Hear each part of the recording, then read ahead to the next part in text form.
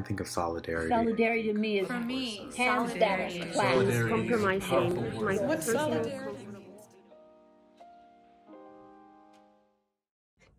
Hi, I'm Trayce McQuirter, Amherst class of 1988, and I'm reading an excerpt from my book Ageless Vegan for the Solidarity Project.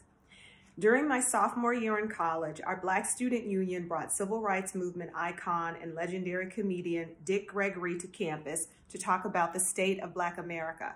But instead, he decided to talk about the plate of Black America and how unhealthfully most folks eat.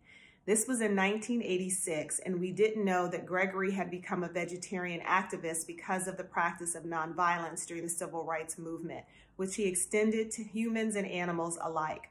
During his two hour talk, Gregory graphically traced the path of a hamburger from a cow on a factory farm through the slaughterhouse process to a fast food restaurant to a clogged artery to a heart attack, and it rocked my world.